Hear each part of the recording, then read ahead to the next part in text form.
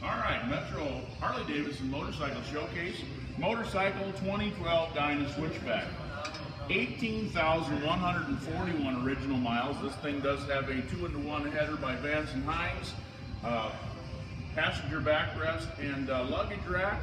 Switchback is a great motorcycle. It's uh, convertible. You can pop the uh, bags and windshield off of this thing and have it stripped down to uh, a nice, simple little Dyna, or you can dress this thing up and take it on the open road.